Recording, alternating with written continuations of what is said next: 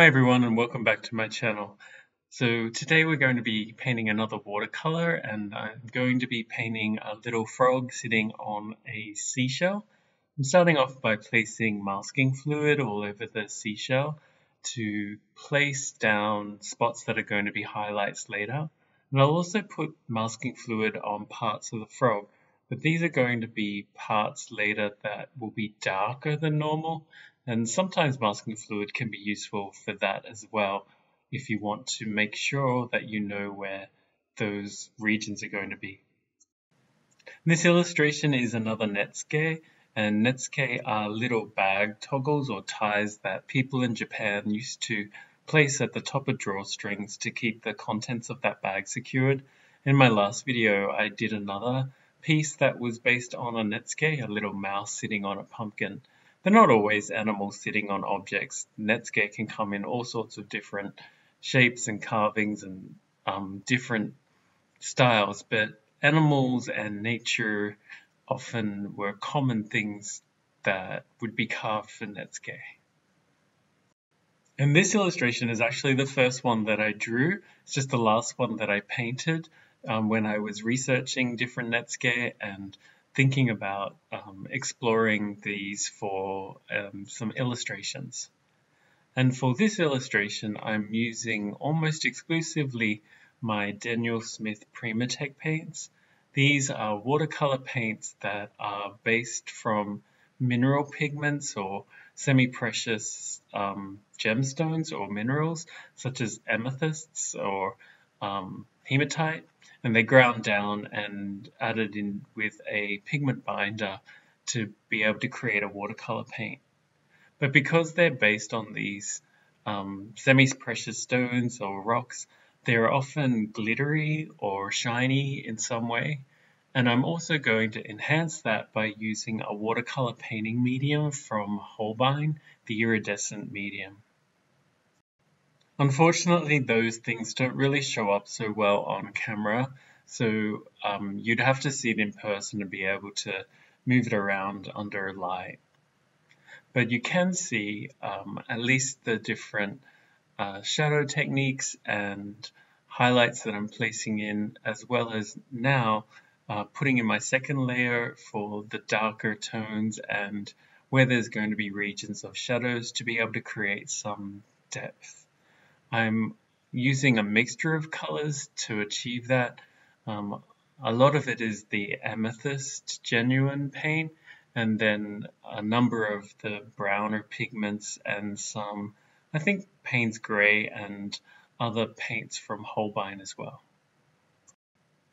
I'll probably put a reference photo or insert a reference, the original reference photo in here so you can compare it with what I'm painting towards but I loved how derpy the frog was in the original carving and the shell is just really um, beautiful and um, a really interesting topic to paint if you've never tried painting shells before.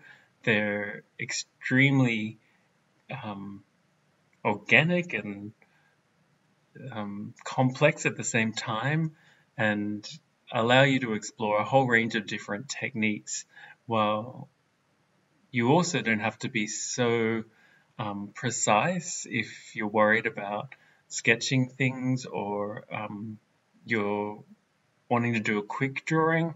You don't have to be painstakingly accurate when you're drawing a shell.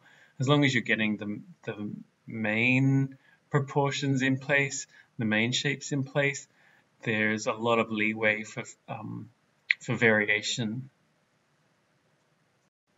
and this is my first time painting seashells and I'm hoping to establish a glossy sort of sheen to it but I'm also uh, interested in, in trying to establish the um, three-dimensionality of it and I'm achieving that to some degree by placing the darks into the grooves and try to follow the contours of the shell. And you also saw me really amping up the contrast for the part where the shell would go inside or where the creature would have been able to originally climb inside of the shell. And I was really quite pleased with the effect that I established there. But I thought it all looked a little bit uniform, so I decided to put in some yellowish tones into the mix. And I like the the difference or the the change in vibrancy that that, that produced. I often take a lot of risks with color. I think color is a great thing to explore. Um, sometimes it works for my benefit, like with the shell here, and sometimes it doesn't, but it's always fun to explore. Um, I guess a case of where it doesn't personally in this piece is later on I'll think that the frog is just too green and too different from the tones in the shell. And so that's a case of where I decide to step back and try to tone down the color of the frog by adding more of the the brownish um, ochre tones that are found in the shell and placing it on top of the frog.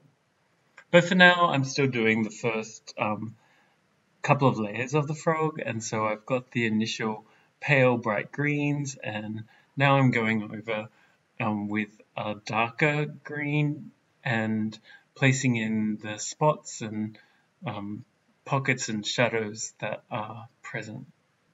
And so the frog is quite different from the original Netsuke carving where everything was the same color and it was probably um, carved from a piece of wood or ivory or something like that. But I decided to distinguish the frog from the shell more and to have the frog stand out. But like I said, I decided it was standing out a little bit too much and I've toned that down later. The highlights for the shell were also a little bit too bright, or most of them were also too bright.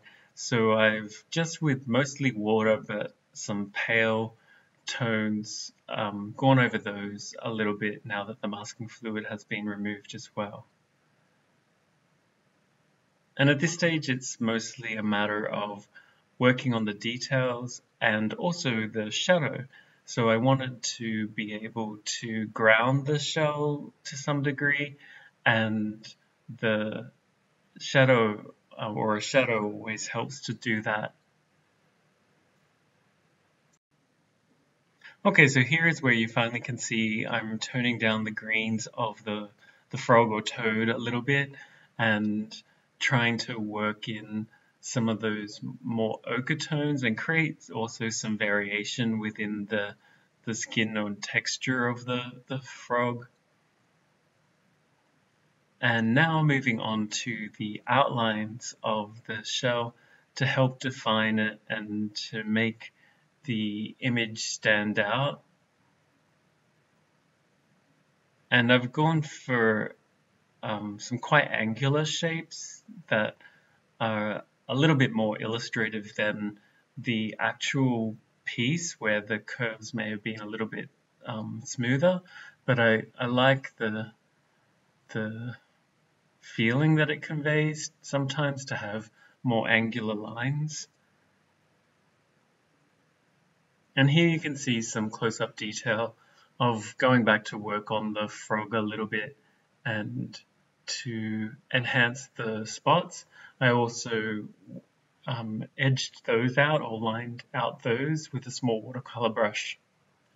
And I decided that the shadow was a little bit too plain and the edges were a little bit too crisp as well. So I put in some light purple and blue, um, the amethyst genuine and the other blue genuine Primatek paint, and then tried to um, establish the smoother edges for the shadow as well.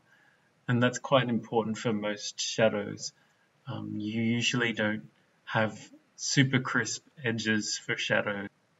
Okay, now I'm just slowly removing the tape. You can see me pulling it away at a slight angle away from the paper. That helps to reduce the chances of the paper tearing. And so that's pretty much it for this illustration. I hope you enjoyed it, and if you did, I'd love if you could give me a like, or if you had any questions about it, um, drop me a comment um, down below, and I'll do my best to answer any questions that you may have.